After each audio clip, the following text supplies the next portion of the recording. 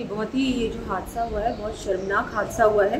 पूरे राजस्थान को फिर से शर्मसार किया है। और बिल्कुल ये बार बार राजस्थान में आप सभी जानते हैं, हम सब जानते हैं, राजस्थान में लगातार जितनी महिलाओं पे जितना दुष्कर्म पड़ा है, बलात्कार की घटनाएँ, उत्पीड़न की घटनाएँ, मारपीट की घटनाएँ, मर्डर की घटनाएँ, महिलाओं की जितनी बड़ी हैं घटनाएँ कभी भी राजस्थान में आप इतिहास देख लीजिए, किसी भी शासन में नहीं हुई जितनी इस कांग्रेस के राज में बढ़ी।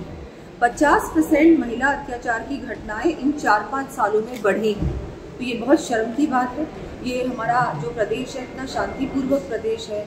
वीरों की वीरांगनाओं की धरती है, मेवाड़ का क्षेत्र है ये। और यहाँ पर इस तरह की घटनाएँ लगातार बढ़ रही हैं। मतलब कोई भी ऐसा जिला नहीं है राजस्थान में जहाँ पर रोज़ाना कम से कम एक घटना सामने आती है। सीएम अशोक गहलोत भी आज इस घटना को लेकर दरियावत पहुँचे थे।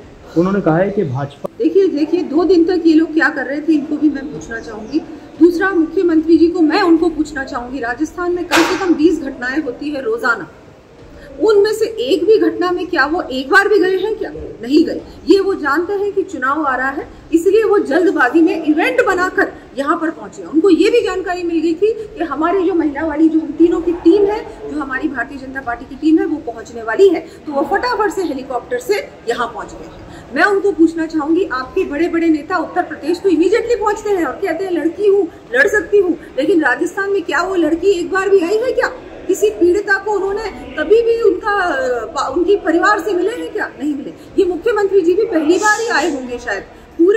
चार पाँच सालों में वो कभी भी किसी पीड़ित परिवार से नहीं मिले, किसी भी जिसके साथ इस तरह की घटना हुई उनसे नहीं मिले। लॉ एंड ऑर्डर और महिला अत्याचार की तो अति उग चुकी है राजस्थान में। शर्म की बात है ये। हमारे राजस्थान में ऐसा कभी भी इससे पहले नहीं हुआ।